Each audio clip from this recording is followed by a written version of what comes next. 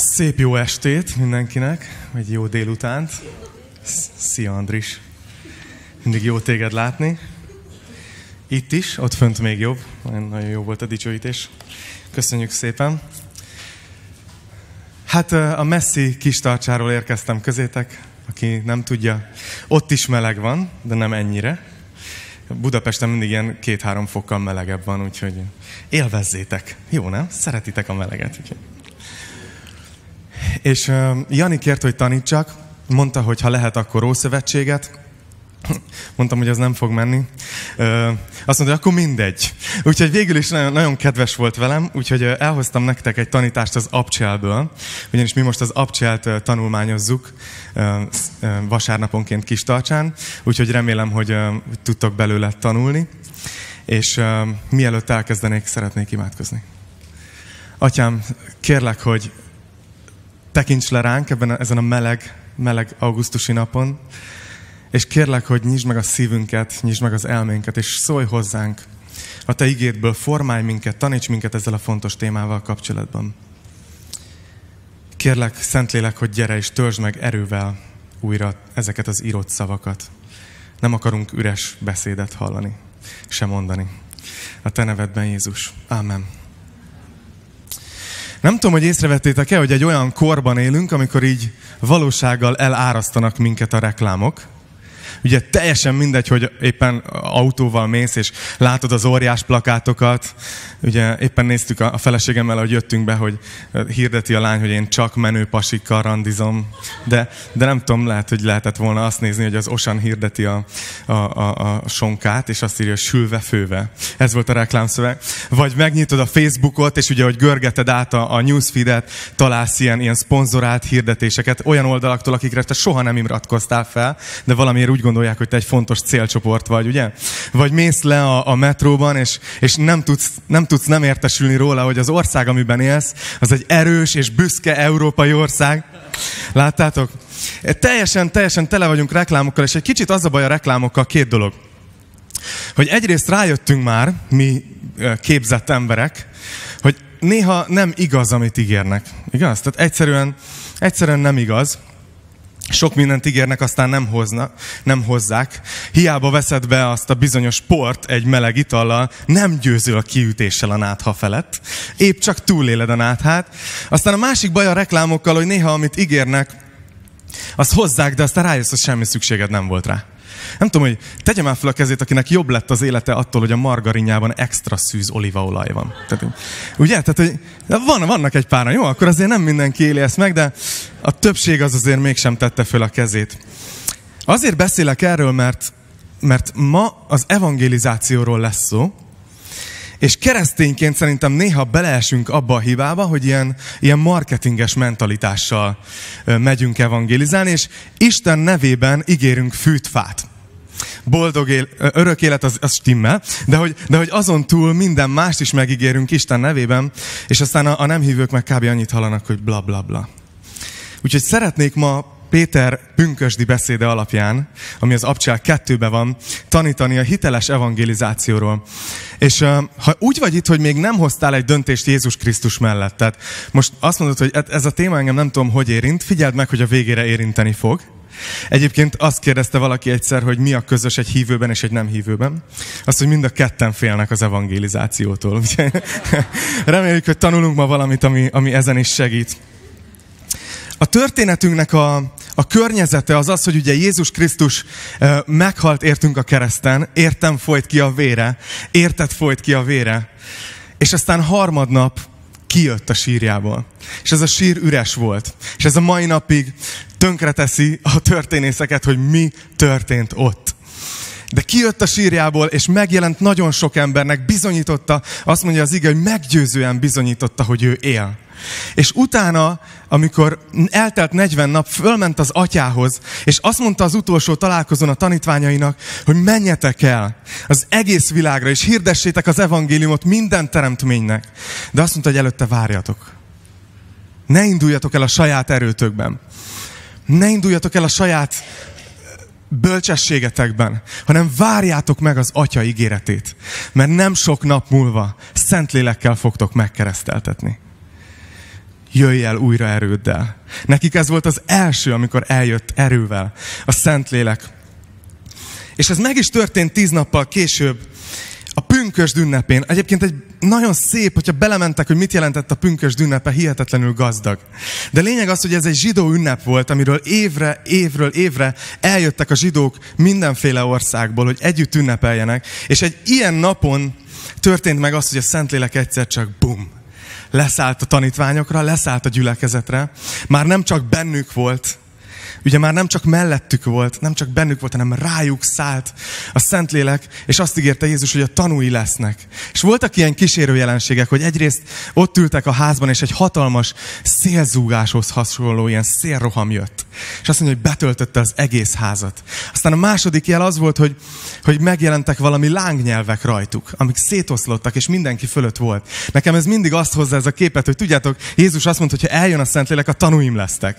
Azt mondta Jézus előtte, hogy a gyertyát nem azért gyújtják, hogy a véka alá tegyék. Olyan, mintha ott lettek volna ezek a tanítványok, ilyen kis gyertyák, de még nem voltak meggyújtva. És egyszer csak jön a láng, és rájuk ül. És azt mondja, mostantól a gyertyák vagytok, mostantól menjetek és világoskodjatok. És aztán a harmadik jel az a nyelveken szólás volt. Elkezdtek olyan nyelveken beszélni, amit nem ismertek. Viszont az emberek, akik nemzetközi színről jöttek, hirtelen értették, hogy mit beszélnek azok az emberek, akik jöttek Jeruzsálembe, a Szent Városba, hogy ott imádják Istent a szent nyelven, a héber nyelven. Hirtelen azt hallották, hogy konyha nyelven, hétköznapi nyelven, az ő anyanyelvükön hangzik Isten igéje. És összejött a sokaság, összezúdult, hogy mi ez? Mi történik? És itt kezdődik ez a rész, amit szeretnék felolvasni nektek. Itt történik az, hogy, hogy az emberek egyszerűen elkezdenek találgatni, hogy mi ez. És egyesek azt mondják, hogy tudod, ezek, ezek részegek. Mások csak csodálkoznak. Vannak, akik ezt mondják, hogy csak túl sok túl sok édes bor, bor, boriska volt, volt ott. És ezt olvassuk az Abcselák 2.14-ben, amikor ez elhangzik, hogy egyesek azt mondták, hogy részegek. Ekkor Péter előállt a 11-jel, felemelte a hangját, és így szólt hozzájuk. Zsidó férfiak, és Jeruzsálem minden lakója, figyeljetek a szavaimra, és tudjátok meg, hogy mit jelent mindez. A mai tanítás során hét gyakorlati tanítást fogok megosztani veletek a hiteles evangelizációról, tehát aki jegyzetel, annak könnyű lesz követni. De lényeg az, hogy egyelőre ezt az egy verset fogjuk megnézni, és ne féljetek, nem minden versről fogok olyan hosszan beszélni, mint erről, de ebben a versben találtam nagyon sok mindent. Azt mondja, hogy ugye Péter feláll a 11-jel, kiáll eléjük, és azt mondja, hogy zsidó férfiak és Jeruzsálem minden lakója, figyeljetek szavaimra, és tudjátok meg, hogy mit jelent mindez. Három dolgot szeretnék nektek megmutatni eh, ebben, a, ebben, a, ebben az egy versben. Az egyik az, hogy Péter abból indult ki, ez az első pontom, Péter abból indult ki, ami az embereket éppen foglalkoztatta. Ott ugye ez adott volt, mert, mert összejöttek, és összehozta őket ez a szélzúgás. Tehát annyira zúgott a szél, hogy összejöttek, hogy mi ez? És Péter nem elkezdett valami másról beszélni, hanem abból indult ki, ami foglalkoztatta az embereket. És ez az első tanítás ma, hogyha hitelesen akarunk evangélizálni, akkor meg kell tanulnunk Pétertől, hogy hogy tudunk azokból a kérdésekből kiindulni, ami az emberekben van hogy mi az, ami őket foglalkoztatja. Néha olyanok vagyunk keresztényként, mint az elefánt, ami betéved a porcelánboltba. Volt a keletinél néhány évvel ezelőtt egy graffiti, hatalmas piros betűkkel valaki felírta, hogy Jézus a válasz. És valaki fölírta alá feketével kicsiből, hogy mi volt a kérdés? És, és azt hiszem, hogy zseniális. Azt hiszem, hogy zseniális, mert meg kell tanulnunk figyelni, hogy honnan indulnak az emberek, amikor bizonyságot akarunk tenni a hitünkről. És tanulhatunk a médiától. Ők erre szakosodtak, hogy megtudják, hogy mi érdekli az embereket, ugye? És abból induljanak ki.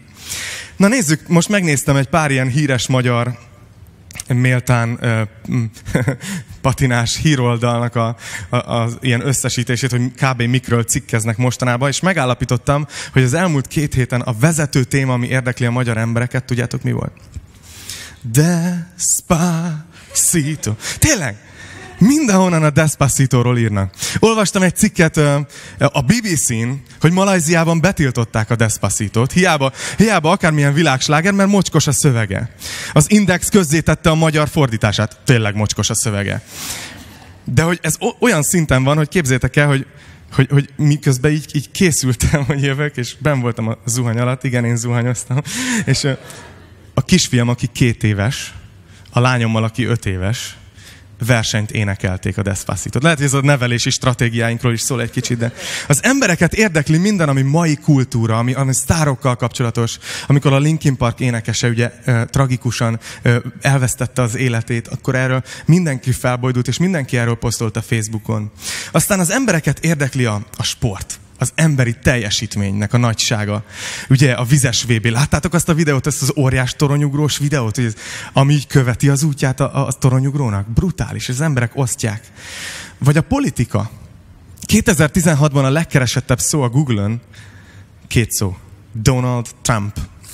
Ő volt a legkeresettebb szó, de Magyarországon is ugye, ha bármikor fölkerül Orbán, tusványos, Mészáros Lőrinc, megtelik az internet. Ezzel az embereket érdekli, vagy hogy miért nem nyílnak ki az orosz metrók ajtajai, vagy hogy miért nem lehet online jegyet vásárolni a BKK-tól, vagy miért annyira, mennyire akarsz.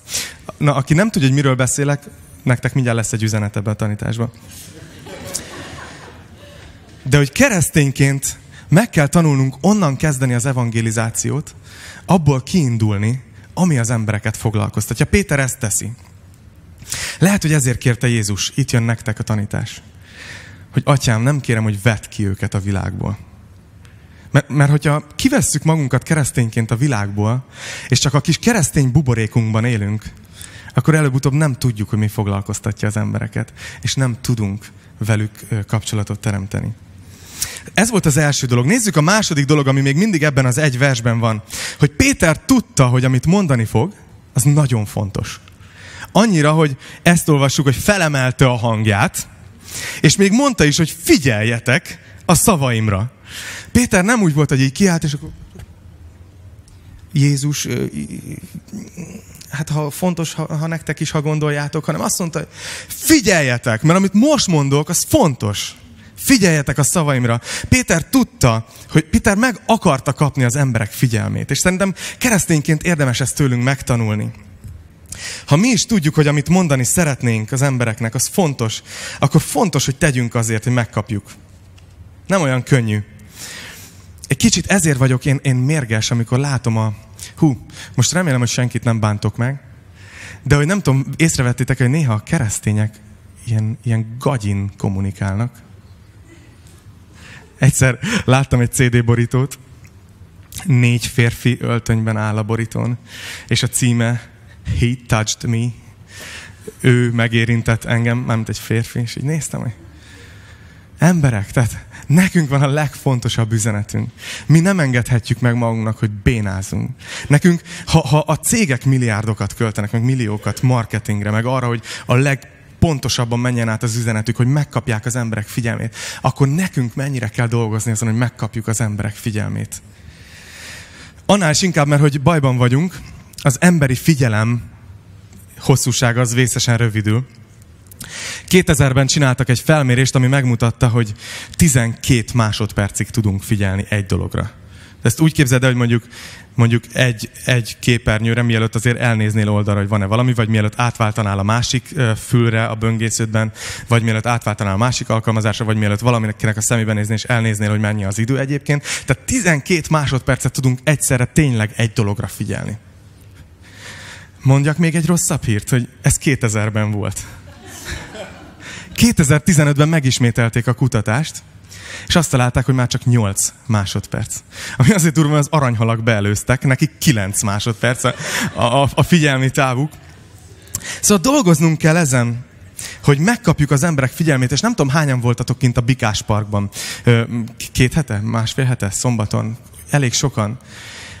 Ugye néhányan ott álltunk, hogy, és, és még hallottam is ilyeneket, hogy hát ez nem az én stílusom, ez rendben van. Hallottunk ilyet, hogy hát azért ez, ez inkább a show. De tudjátok, ha megfigyeltétek meg, hogy mit keres dinoszaurusz a színpadon, meg utána csónakban, meg, meg miért jön ki tablet, tudjátok, az a két szem, meg, tehát, hogy ilyen, ilyen szürreális volt az élmény, mert, de, de egy valamit megcsináltak ezek a srácok, hogy egy másodpercre nem bírtad levenni a szemed a színpadról. Oda kellett figyelned. És ők ebbe tesznek bele hetek gyakorlását, mesterkoreográfusukat, zenészeket, mindent, hogy egy olyan sót tegyenek oda 53 percben, amiről nem bírod levenni a szemed. És azt mondom, hogy azért ezt nem fogjuk tudni így utánuk csinálni, de hogy, de hogy egy kis motiváció nekünk, hogy, hogy nekünk nagyon fontos az üzenetünk, akarjuk megkapni az emberek figyelmét. És aztán nézzétek a, a, a következő dolog, és utána tovább megyünk egy másik versre. Hogy Péter tudta, hogy mi az, amit ígér az embereknek, hogyha meghallgatják. Azt mondja, hogy figyeljetek a szavaimra, és akkor meg fogjátok tudni, hogy mit jelent ez, amit itt láttok. Péter nagyon jól kommunikál. Péter ad egy ígéretet rögtön az embereknek, hogy mit kapsz, ha engem meghallgatsz. És szerintem ez nekünk is aktuális, mert, mert amikor, amikor mondjuk valakit szeretnénk elhívni gyülekezetbe, vagy elhívni egy közösségi eseményre, ami mondjuk evangelizációs célú is, akkor nagyon tudnunk kell, hogy, hogy mit ígérünk. Mert, mert mondhatunk olyat, amitől egyből, tehát gyere el, mert itt egy olyan befogadó, olyan meleg közösség van, és így nem tudom, hogy akarok eljönni, tudod, hogy én, én elfogadnak engem így is az emberek, tehát nekem ne, köszönöm. Tehát, hogy, vagy nem tudom, tehát mondunk néha ilyen keresztény kliséket, nem tudom, hogy ér, érzitek-e, ami nem biztos, hogy a jó ígéret. Néha tehetünk hamis ígéreteket Isten nevébe. Mondunk néha ilyeneket keresztények, hogy ha hiszel Istenben, akkor mindig boldog lesz az életed. Lesz egy folyamatos boldogság. Ha hiszel Istenben, akkor ő meg fogja oldani minden problémádat. Lehet, hogy máshogy van szövegezve, de a lényege ez. Ha hiszel Istenben, akkor helyreállítja az anyagi helyzetedet. Kiszed a hitelből. Engem is megmentett.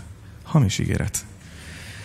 Ha hiszel Istenben, akkor majd ő gondoskodik egy jó társról a számodra. Ha hiszel Istenben, majd ő nem engedi, hogy rossz dolgok történjenek a gyerekeiddel vagy a családtagjaiddal. És tudjátok, az a durva, hogy ezek az ígéretek lehet, hogy néha bejönnek, de máskor meg nem. És gyárthatnak egy rakat csalódott embert. Hogyha ez nem történik meg. Nemrég voltunk egy esküvőn, és nem tudom, hogy láttatok-e ilyet, hogy így, amikor ugye várjátok a második fogást, akkor egy ilyen totót töltettek ki, ami a párról szól. Tudod, mi volt a jele óvodában a menyasszonynak, vagy, vagy ilyen kérdés, tudod, mi volt, mi volt a kedvenc sportja a vőlegénynek, vagy nem tudom, tehát ugye valami ilyen kérdések, és akkor 13 plusz egy kérdés, és akkor az asztaltársaságok versenyeznek egymással. Na most ez más volt, mint a szokásos, mert nagyon nagy volt a nyeremény. Tehát azt mondták, hogy a, a, a második helyezett, az nyer egy gyertyafényes vacsorát. Érted? Tehát a, az első helyezett pedig egy szabadon választható utazást. Na ezen a ponton mi elkezdtünk dolgozni, de derekasan. És így, tudod így, oda mész a mennyasszonyi asztalhoz megsugod. Tudod, jobban voltunk a fősulin, ezt még így megmondod nekem. Így. És próbáltuk így kiszedni, totózni. Összeraktuk a választ, beadtuk nagy büszkén, és vártuk az eredményhirdetést. Jött az eredményhirdetés, és tudjátok, visszafele mentek, hogy melyik asztal. És akkor nyolcadik, hetedik, ők már egy kicsit nagyobb tapsot, hatodik, még nagyobb tapsot. Aztán már három asztal maradt versenyben, mi már akkor nem voltunk. De, de és akkor már, már, már, már a másik két asztal már, már nagyon újongott, tudod, hogy ők az első két helyezett. És aztán mondták, hogy melyik a másik, második helyezett, és, és óriási üdvrivalgása annál az asztalnál, ami meg fogja nyerni a szabadon választható utazást. És aztán azt mondják, hogy akkor az, a, az átadást, a diátadást viszont ebbe a sorrendbe csináljuk, és akkor először a szabadon választható utazást nyújtották oda, oda mentek az asztalhoz, és oda tettek 7 BKV jegyet. És azt mondták, hogy Újpest központtól Kőbánya központig, ahova akarsz. Utána már érezte a másik asztal, hogy ez necces lesz, a gyertyafényes vacsora. Az úgy nézett ki, hogy egy ilyen pacal pörkölt konzerv, és egy mécses a tetején, szép színes szalaggal átkötve. Na, néha, néha ilyenek a mi ígéreteink embereknek. Hamis ígéretek. És azon gondolkoztam, hogy beszéljünk egy kicsit arról, hogy nem tudom hányan vagytok itt, de biztos sokan, akik szeretnétek a hitetekről beszélni. Szeretnétek a hitetekről hitelesen beszélni, Jézusról hitelesen beszélni. Szeretnétek bátorítani az embereket, hogy miért higgyél. De nem akarsz beleesni abba, hogy hamis ígéretet adjál. Hogy mit mondhatunk. Hogy mi az, amit Isten tényleg ígért. Például azt gondolom, hogy egy igazi ígéret, hogyha azt mondjuk, hogy figyelj, nem biztos, hogy mindig, mindig boldog leszel. Nem biztos, hogy mindig problémamentes lesz az életed, sőt, a statisztika azt mutatja, hogy nagyon nagy valószínűsége ennek az ellenkezője igaz. Valószínűleg lesznek problémáid, lehet, hogy lesz betegség az életedbe, de amit Isten megígért, az, hogy ezen nem kell átmenned egyedül. És higgyétek el, hogy ez egy óriási ígéret. Máté 28.20-ban azt mondja Jézus, én veletek vagyok minden napon, a világ végezetéig. És ezen gondolkoztam, hogy, hogy hány ember magányos. Hány ember érzi úgy, hogy tudod, nem lenne olyan nehéz, ha lenne, akivel ezt megosszam. És hogy Jézus ezt, ezt megígéri nekünk hogy nem kell egyedül átmennünk a dolgokon. És beszélgettünk nemrég egy barátunkkal, és kérdeztük, hogy ő így hogy, hogy lett hívő, és azt mondta, hogy ő a gyerekkorában nagyon-nagyon durva dolgokon ment át a családjuk, betegség, minden. És hogy látta az anyukáját, hogy hogy megy át ezen. És látta, hogy ezen nem tudott volna átmenni magától, hanem azért, mert Isten vele volt. És tartása maradt, kihúzott gerincel ment végig egy nagyon nehéz életen. És ez egy valós ígéret, ez nem hagy cserben. Az is egy igaz ígéret, hogy azt mondjuk valakinek, hogy figyelj, lehet, hogy továbbra se leszel gazdag. Sőt, valószínűleg a hitelet sem fog egy csapásra megoldódni. Viszont azt megígérte Isten, hogy gondoskodik a szükségleteidről. Nem az igényeidről, hanem a szükségleteidről. Jézus azt mondta, hogy nézzétek meg a mezőmadarait. Az égmadarait, a mezővirágait. Nézzétek meg, hogy nem aratnak, nem vetnek. És a mennyei atyátok gondot visel róluk. Mennyivel inkább rólatok kicsinyhitűek. Miért aggódtok, hogy mivel öltözködjetek, hogy mit egyetek? És ezt megígéri Isten, hogy gondot visel rólunk. És egyben azt is ígéri Isten, hogy ő megtanítja nekünk a megelégedettség fontosságát. Mert tudjátok, néha az ember elégedett, akkor a kevesebb az több, mint ha meg lenne az a sok, amire vágysz. Ezért van, hogy sok ember, amikor megvan a gazdagság, akkor se tudja értékelni. Az is egy igaz ígéret, hogy figyelj, nem biztos, hogy lesz társad. Vannak a keresztények között, akik egyedül állóan élik le az életüket. Viszont míg a világban ez azt jelenti, hogy te neked elfuseráltad az életedet, mert, mert nem lett meg a, a boldogság, nem lett meg a társ, akitől a boldogságodat várod, igaz? Valahogy ezt tanítja a világ. Akkor, akkor kész, akkor, akkor ha egyedül vagy, akkor ennyi. Addig Isten azt mondja, hogy Figyelj, ha egyedülálló vagy, akkor olyan módon bontakozhatsz ki a szolgálatban, az ajándékaidban. Olyan mértékben viheted előre az én munkámat ezen a földön, amit soha nem lesz képes egy olyan ember, aki házasságban él. Pál ezt megmondja, aki házasságban él, az megosztott. Mert az a feleségének is akar tetszeni, meg Istennek is. És, és odaadja azt, hogy figyelj, egyedülállóan is találhatsz olyan értelmet az életedben, ami, ami, amit a házasok nem tudnak. És úgy kiteljesedhetsz.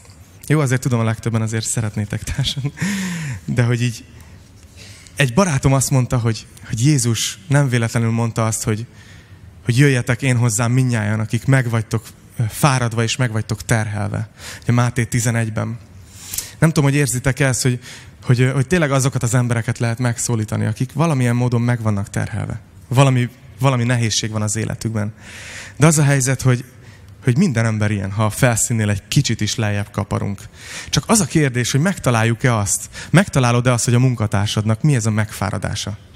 Hogy a, hogy a szomszédod mivel van megterhelve? Vagy a másik anyuka, aki veled együtt viszi a gyerekét az iskolába? Vagy nem tudom, a, akivel elmész horgászni, és tudod, évente egyszer találkoztok, örök barátok hogy mi a, mi, a, mi a megterhelés. És gondolkoztam ezen, párat felsorolok, jó, de utána a kreativitásotokra fogom bízni. Például lehet, hogy valakivel találkozol, és ahogy beszélgetsz vele egy kicsit, rájössz, hogy, hogy magányos. Rájössz, hogy az a baja, az a megfáradása, hogy, hogy nincsenek normális kapcsolatai. Nagyon vágyik értelmes barátságokra, de nincs. Akkor azt lehet, hogy úgy fogod elhívni akár a gyülibe, hogy, hogy figyelj, gyere el, mert nem vagyunk tökéletesek, nem egy, nem egy szuper társaság. Ugyanúgy vannak hibáink és minden. De egy dolgot nagyon-nagyon próbálunk itt megtenni a gyülibe, hogy törődünk egymással. Hogy észrevenni, amikor valakivel van valami. És egyébként meg összeülünk, és tanulmányozzuk a Bibliát, és tanulunk az értelmes kapcsolatokról, hogy hogy tudunk ezért tenni. Vagy lehet, hogy találkozol valakivel, aki azt mond, akiről kiderül, hogy a családjában van egy megromlott kapcsolat. És lehet, hogy évtizedek óta nem tudtak egy normálisat karácsonyozni, mert, mert ha ő is ott van, meg ő is, akkor áll a bál. És rájössz, hogy van ott egy megromlott kapcsolat. És akkor lehet, hogy őt úgy fogod elhívni, hogy figyelj, gyere, mert egy ilyen konfliktus az érzelmileg totál kimerítő. És szükséged van rá, hogy, hogy feltöltődj. Szükséged van rá, hogy valaki téged felemeljen. Hogy a szemedben nézzen, és azt mondja, hogy figyelj, értékes vagy.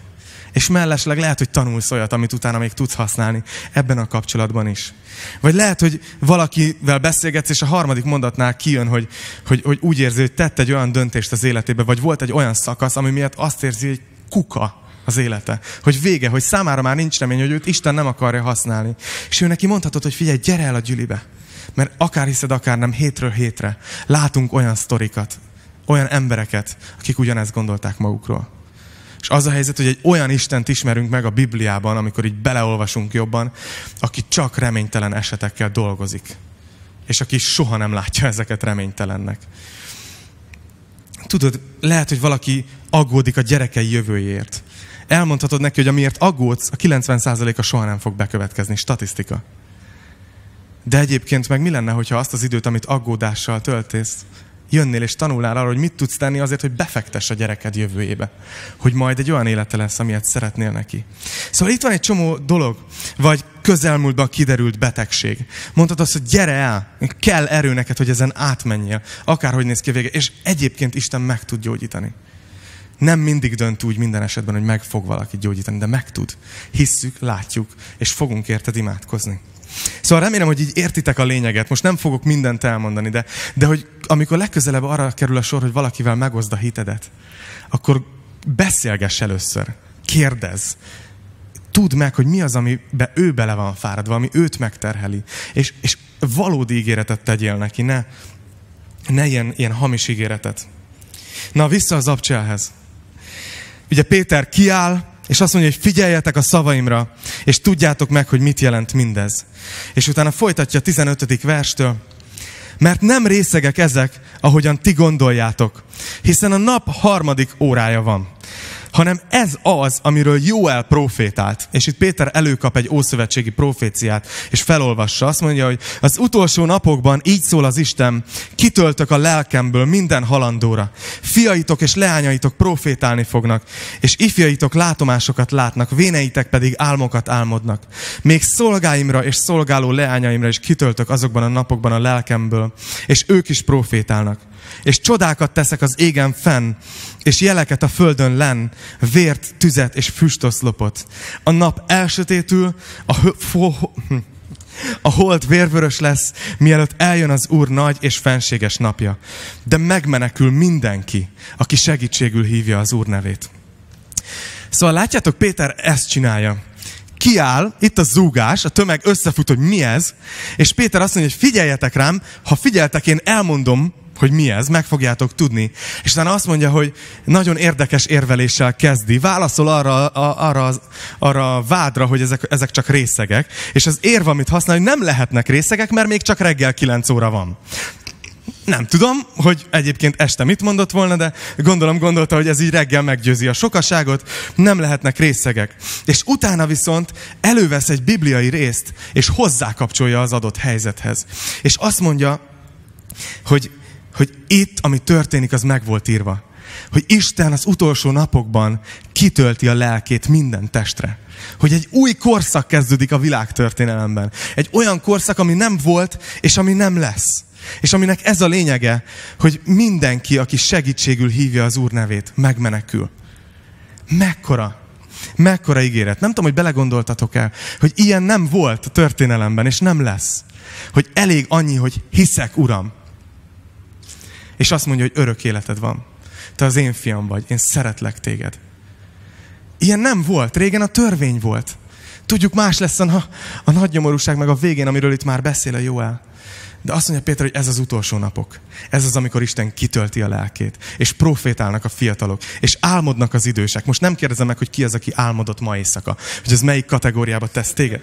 De hogy Lukás 14-ben emlékeztek, emlékeztek, hogy Jézus, amikor beszélt a lakodalmas házról, és azt mondta, hogy hogy, hogy amikor nem jöttek el azok, akiket meghívtak erre a mennyegzőre, mindenki kifogást talált. Én ezért nem tudom elfogadni a meghívást. Én azért, pedig elő volt készítve egy nagy vacsora, egy mennyegző, és a vendégek lemondták.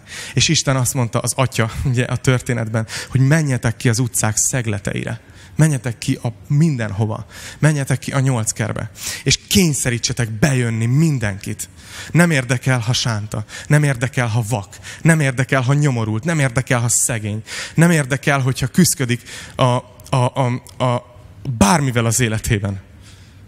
Küzdik az értékével, küzdik a, a szokásaival, a függőségeivel, a szexuális orientációjával. Nem érdekel, hozzatok be mindenkit teljen meg a házam. Egy ilyen egyedülálló korszakot élünk, amikor Isten meg akarja tölteni a lakodalmas házat, és ez itt elkezdődött. Kitöltök a lelkemből minden testre. És utána Péter, miután ezt megteszi, elkezd beszélni a lényegről, Jézusról. Nézzétek, 22. vers. Izraelita férfiak, halljátok meg ezeket az igéket.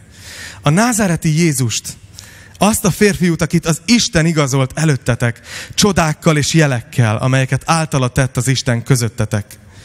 Ahogyan magatok is tudjátok, azt, aki az Isten elhatározott döntése és terve szerint adatott oda, ti a bűnösök keze által keresztre szögeztétek és megöltétek.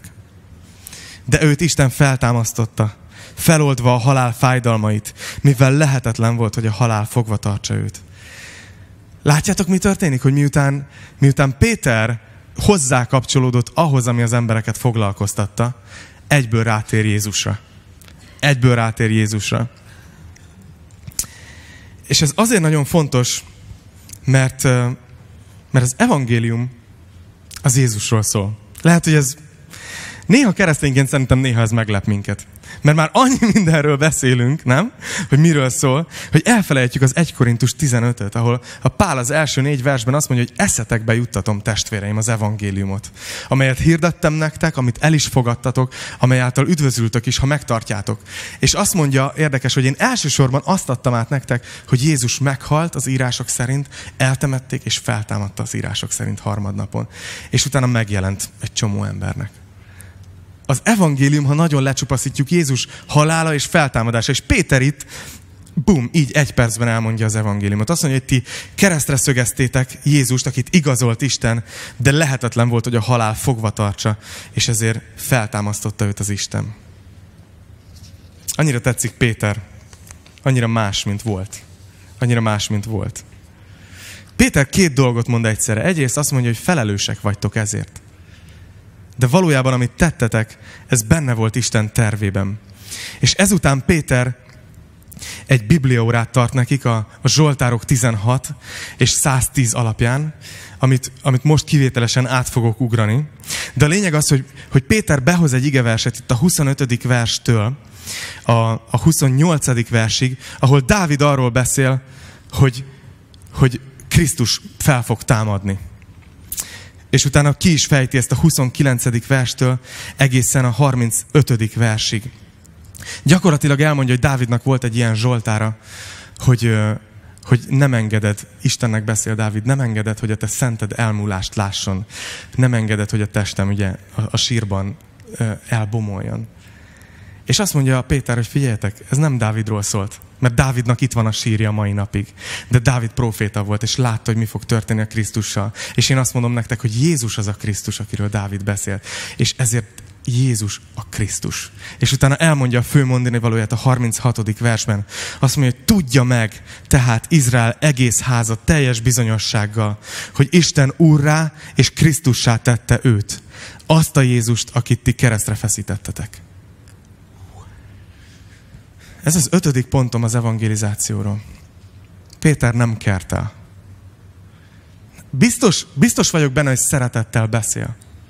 Mert a Szentlélek gyümölcse a szeretet, és, és Péter itt a Szentlélek hatása alatt, hatása, ez egy jó szó teológiailag? A Szentlélek hatása alatt, a Szentlélektől indítva beszél. A Szentlélek erejében. De, de azt mondja, de nem kert el, nem kisebbíti a felelősségüket. Azt mondja, figyeljétek, Isten elküldött, elküldte nektek azt a messiást, akire ti annyira vártatok. Annyira szerettétek volna, hogy jöjjön valaki, aki megmenti Izraelt. És Isten elküldte. És amikor itt volt, akkor nektek nem kellett. Annyira nem, hogy félretettétek, megöltétek. Keresztre feszítettétek az Istent.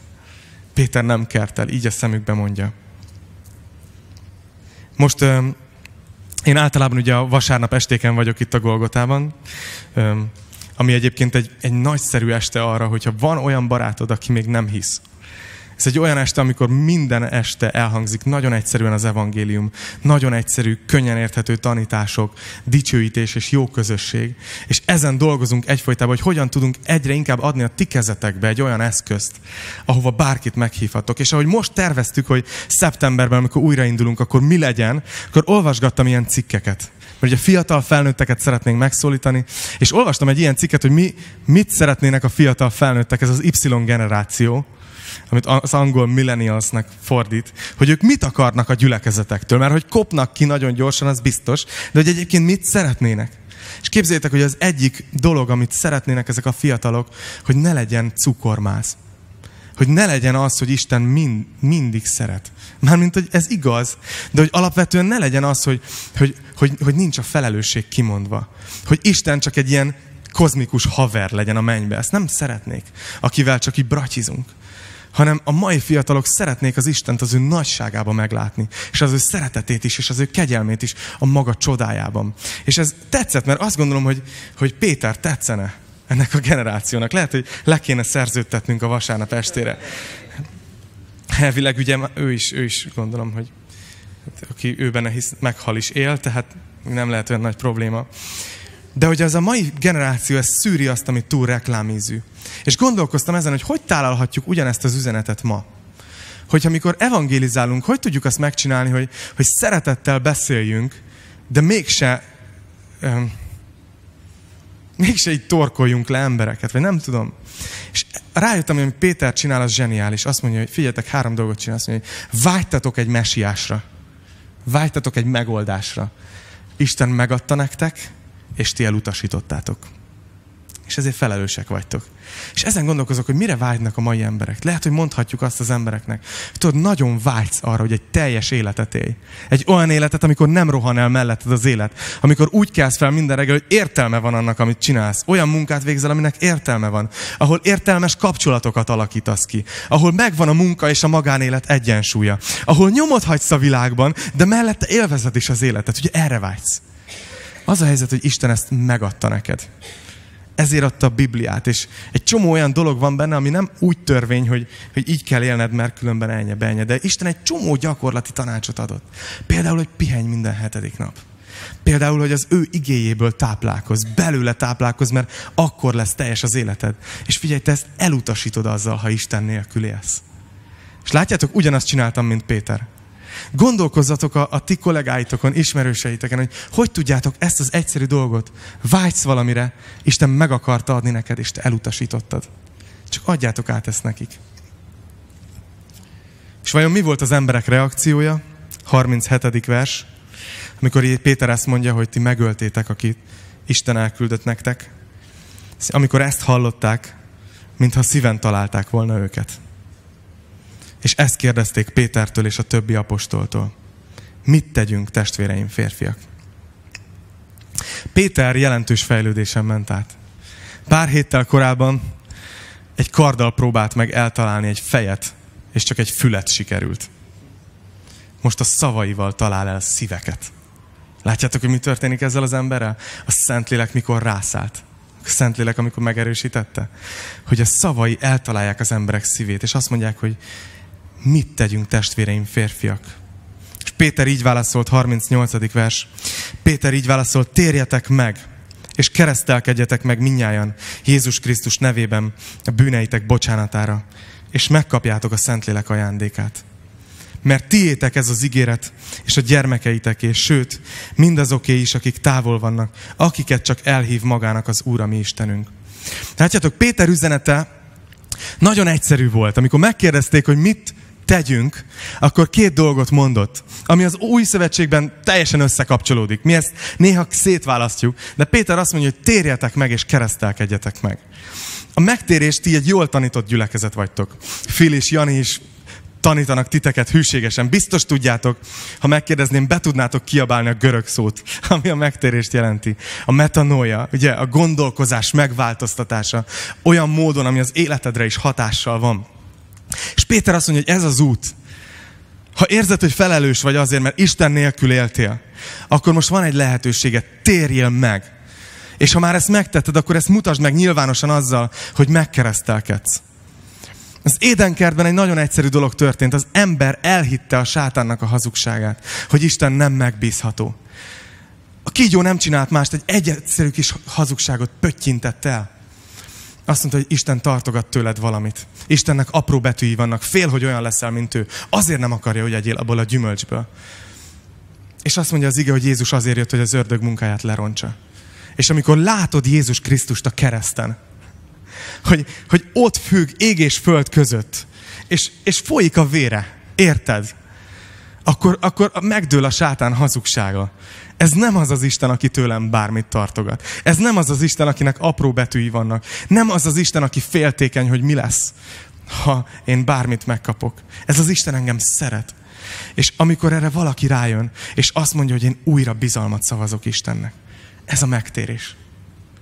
És ez ma is megtörténhet itt veletek, akik még úgy ültök itt, hogy esetleg nem tértetek meg. Fogok erre lehetőséget adni.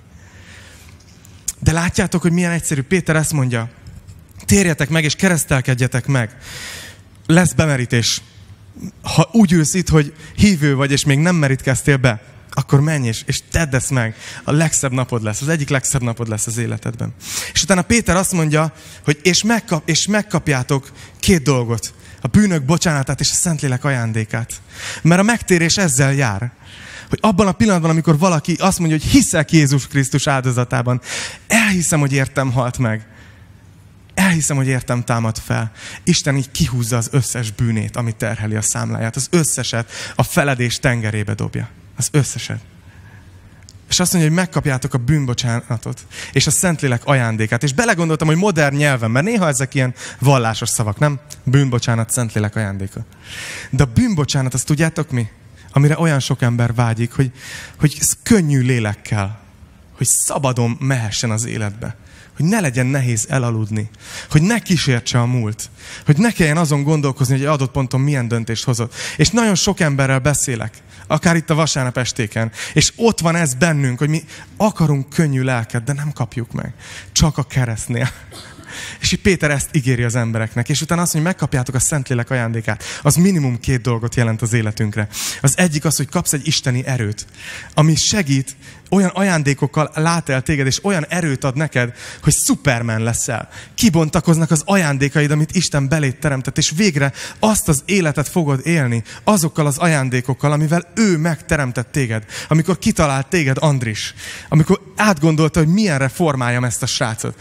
Ő belét teremtett minden, de ezt nem élvezhetné se a gyülekezet, se te, se Isten ha te nem adtad volna át az életed egyszer neki. És a Szentlélek ajándéka ezt jelenti mindannyiunk számára, hogy azt az életet élhetjük, amire ő teremtett. És egyébként azt is jelenti, hogy amikor pedig ezt itt befejeztük, akkor mennybe megyünk. Mert azt mondja az Efézus 1, hogy a Szentlélek egy foglaló. Hogy van egy hajlékunk ott fönt. Hogy nem kell félni, hogy mi lesz, hogyha utolsó dobban a szívem. Ha itt összeesek előttetek, nincs mit félnem. Nincs halál félelmem. Hát értitek, e- ezt, ezt hol kapod meg a világba? Hol kapod meg? És Péter ezt tanítja. És azt mondja, jön rá a reakció. 40. vers. Még más szavakkal is a lelkükre beszélt. És így kérlelte őket. Szabaduljatok meg végre ettől az elfajult nemzedéktől. Még egyetlen verset fogok majd mindjárt felolvasni, és utána befejezem. De ez a vers más szavakkal is a lelkükre beszélt, és kérlelte őket. Szabaduljatok meg. Ez nekem annyira arról beszél, hogy Péter az nem egy ilyen evangelizátor, terminátor volt. Hogy csak menjen át az üzenet, és szevasz. Őt igazán érdekelte, hogy, hogy ezek az emberek megtérnek, vagy sem hogy ezek az emberek úgy fognak onnan elmenni, ahol ő prédikál, hogy szabadok, vagy úgy fognak elmenni, hogy még mindig rabok.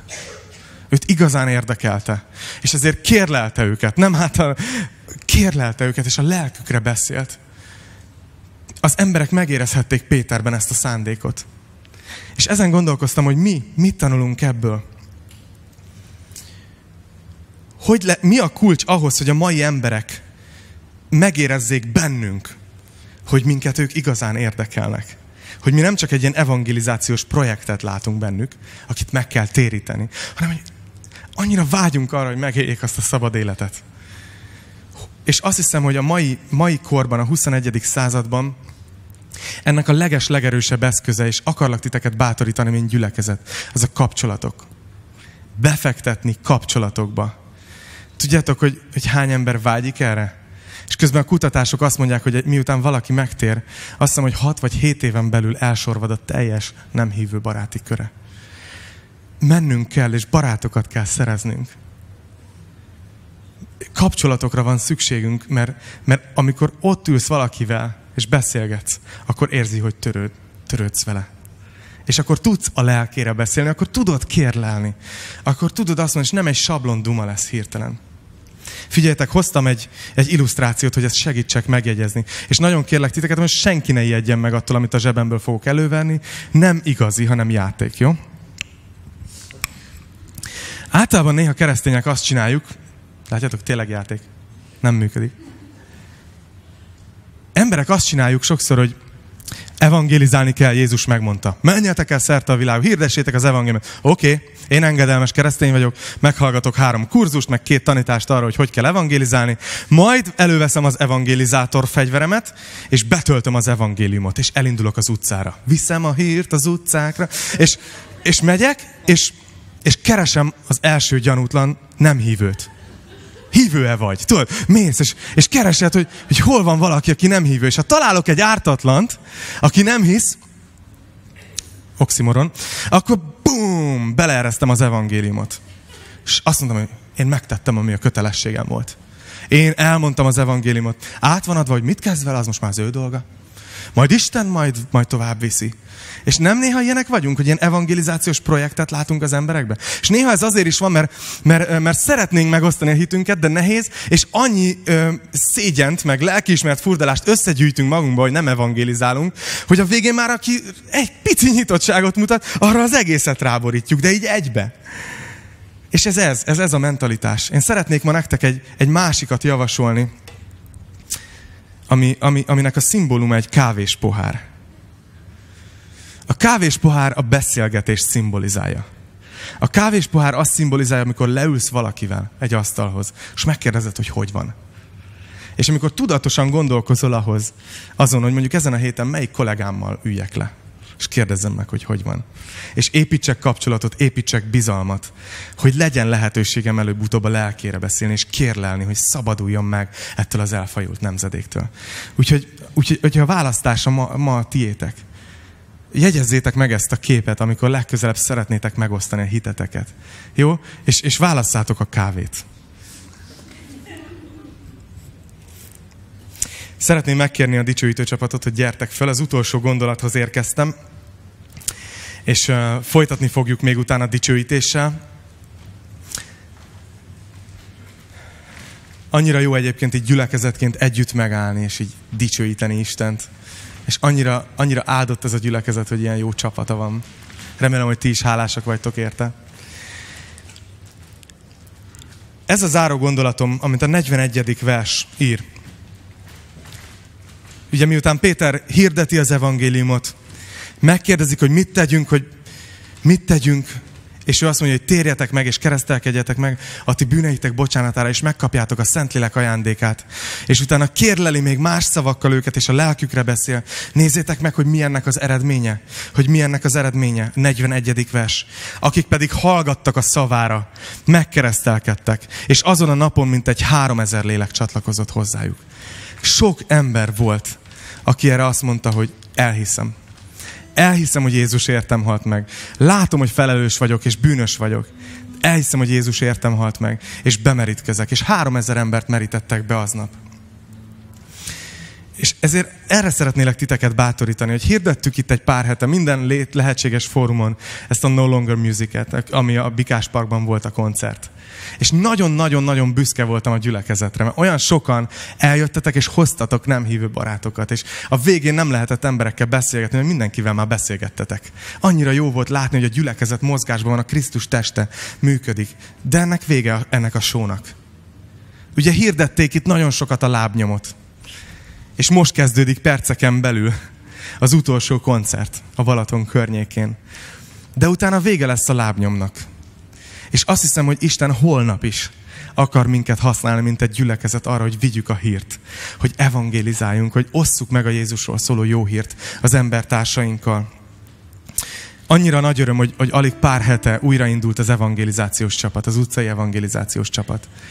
Philnek van egy ilyen látása ezzel a gyülekezettel kapcsolatban, hogy, hogy egyre inkább váljon újra egy ilyen utcai evangélizáló gyülekezeti, ami alatt azt érti, hogy menni oda, ahol az emberek vannak, és evangélizálni. És azt hiszem, hogy nem is hiányzik belőlünk a jó szándék, vagy remélem, hogy most már ez a tanítás után mindenkinek van kedve evangélizálni. De az a helyzet, és ez az utolsó gondolom, gondolatom, hogy, hogy ezt nem tudjuk megcsinálni a saját erőnkből hogy lehet a legjobb elhatározásod, hogy most már tényleg időt szánok az életemből. Most már hallottam tippeket, hogy hogy kell átgondolni, hogy kinek mi a megfáradása, meg megterhelése, akkor most már menni fog. Az a helyzet, hogy, hogy nem fog menni ettől. Amikor Jézus ott állt az olajfák hegyén, akkor ezt mondta, várjátok meg az Atya ígéretét mert ti nem sok nap múlva Szentlélekkel lesztek megkeresztelve. És azt mondja, hogy erőt kaptok, amikor eljön rátok a Szentlélek. És a tanúim lesztek. Jeruzsálemben, Júdeában, Samáriában és a föld végső határáig. És a tanítványok, akik három évet Jézussal voltak, ha maguktól indultak volna el, nem lenne sehol a kereszténység. Szerintem nem is tudnánk róla. De attól lettek ők sikeresek az evangelizációban, hogy a Szentlélek rájuk szállt és az ő erejével indultak el, nem a saját erejükből. Úgyhogy most arra szeretnélek titeket bátorítani, hogy, hogy készüljünk fel erre, hogy mindjárt imádkozni fogunk együtt. És hogy imádkozzunk azért, hogy történjen meg velünk ez most újra. Hogy Isten töltse ki az ő lelkét újra erre a gyülekezetre, aki most itt van. Töltse ki ránk a lelkét, hogy legyen erőnk, és az ő erejével menjünk és tegyünk bizonyságot. Az igazán hiteles evangelizációnak ez, az, ez a végső titka. Lehetsz akármilyen okos, tudhatod mind a hét pontot, amit elmondtam. Szentlélek ereje nélkül ez nem ér semmit. Úgyhogy akarlak titeket bátorítani, hogy, hogy ne csak úgy imádkozzunk most, amikor mondom, hogy imádkozzunk, hogy a tanító bezárja egy imával, mert úgy szoktuk, hanem hogy együtt imádkozzunk, hogy ti is könyörögjetek a szívetekben ezért hogy Isten adja nekünk a szent lelkét. Úgyhogy szeretnélek titeket megkérni, hogy álljatok fel, és könyörögjünk együtt Istenhez.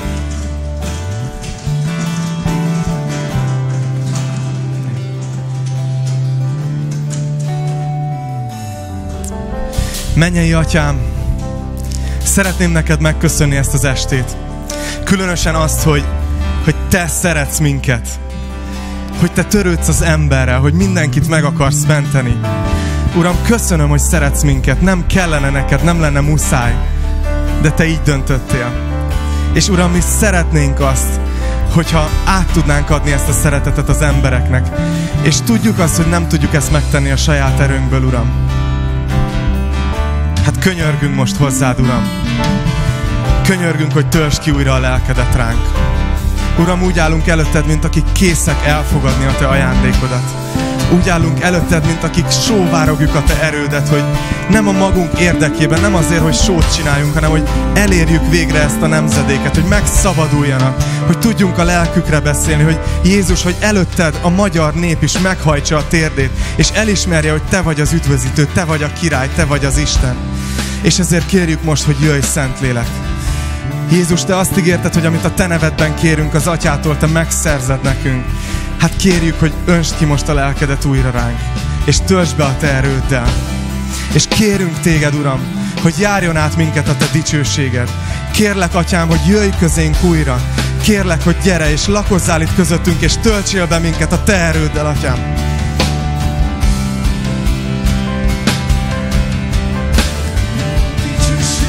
szükségünk van rá.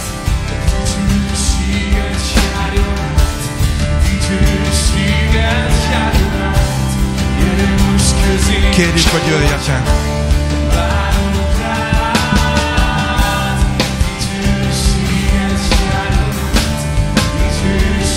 Töltsd be ezt a házat, mint azon a napon azt a házat, Atyám.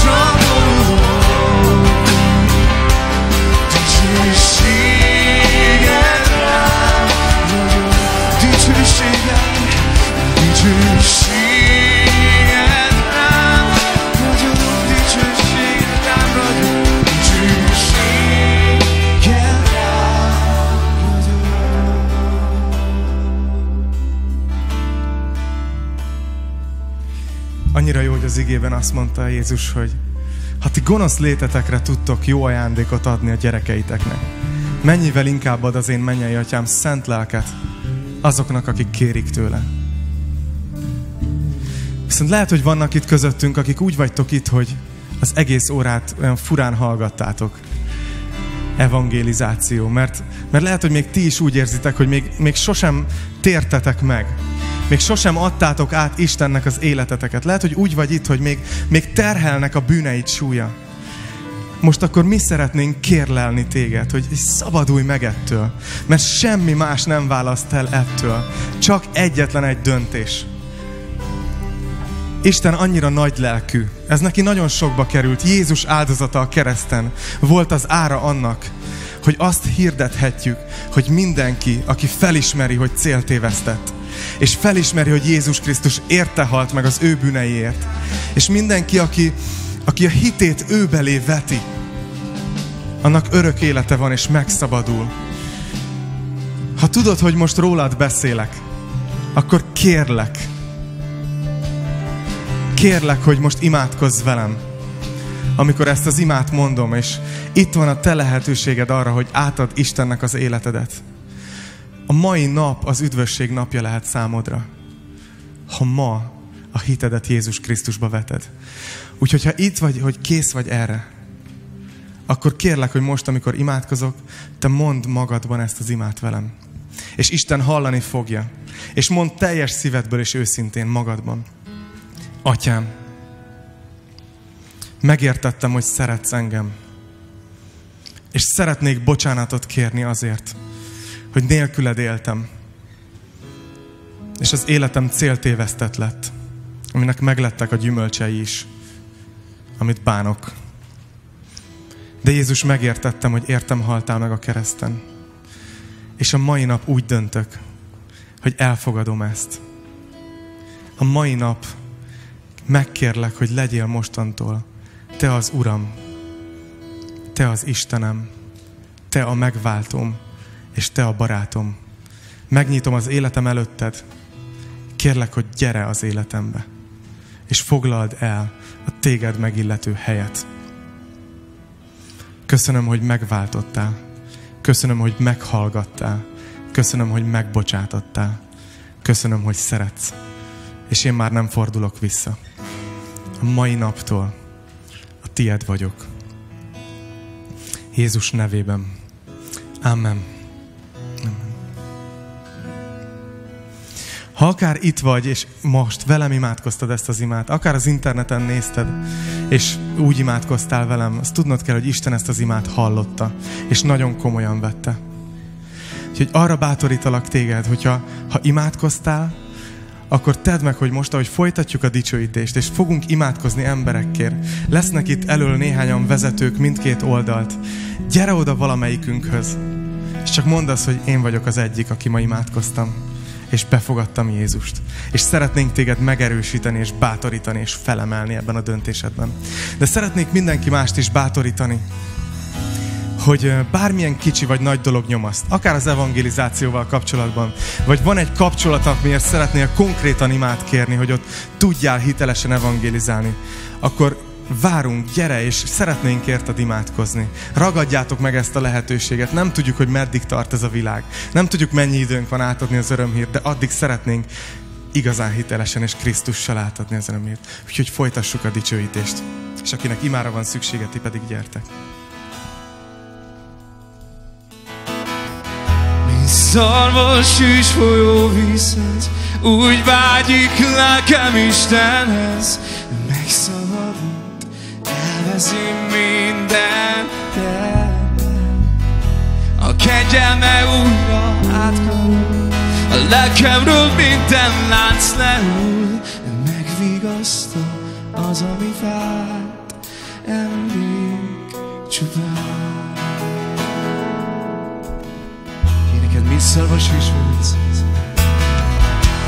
Szarvas vízhez, úgy vágyik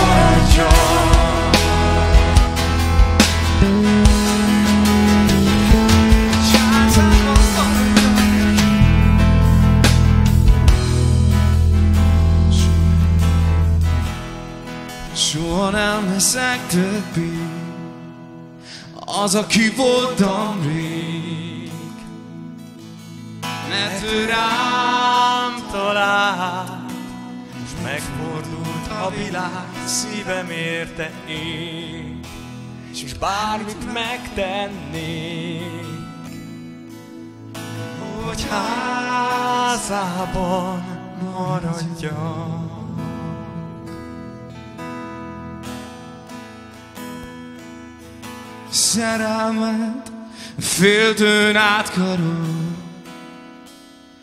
Hozzá bújva nyugszik meg lelkem.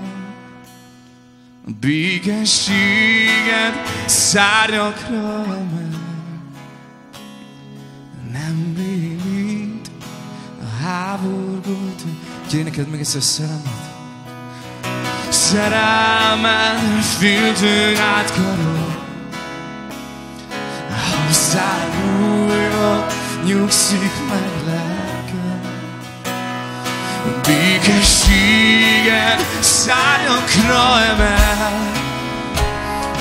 Nem rémít a háborút engem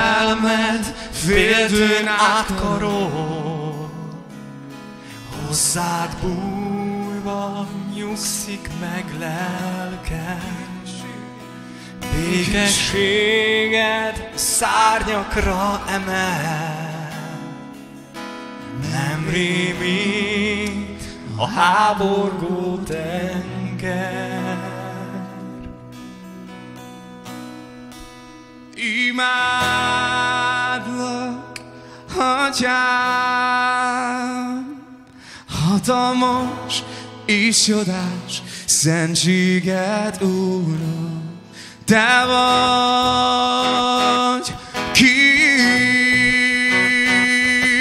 a dicsőség és imádat, áldom szent neved, mint örökké.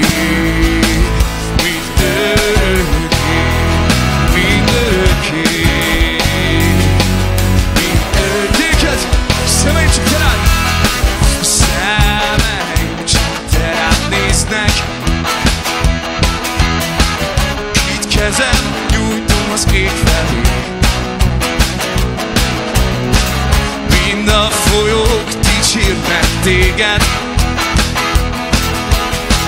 Mindig sietve Örökké követve Őt ki életemnek Adott értelmet. Imádnak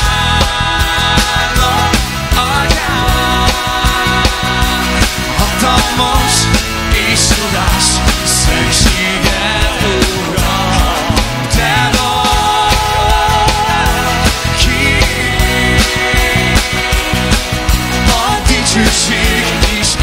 alatt áldom szent neved,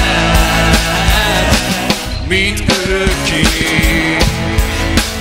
mint örökké, mint örökké, mint örökké. Gyerekek, szívem ismerni akar téged, szívem ismerni akar téged.